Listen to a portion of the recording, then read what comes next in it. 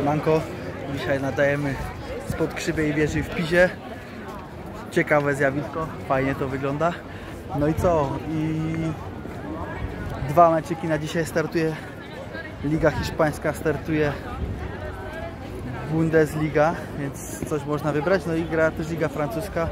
Dzisiaj na inaugurację Lyon grał u siebie z Angers i tutaj w tym spotkaniu miałem dylemat, czy postawić na zwycięstwo Lyonu łamane przez 2,5 bramki, czy postawić sobie, że obydwie drużyny strzelą bramkę i będzie tych bramek więcej niż 2,5 w meczu. To są kursy 2 zł 2,05. Postawiłem na opcję drugą, czyli obydwie strzelą i więcej niż 2,5 bramki w meczu.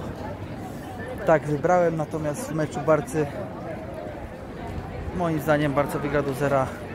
Kurs 2,90 jest kuszący.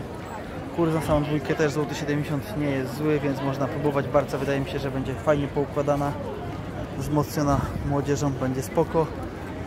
No i a propos startu Bundesligi, no to myślę, że Bayern wygra do zera z Hertą i to jest taki mój pomysł. To są trzy typy ode mnie, które dzisiaj polecam i myślę, że sprawa prosta jak ta wieża. Damy radę. Pozdrawiam się zwycięstw. Siemanko.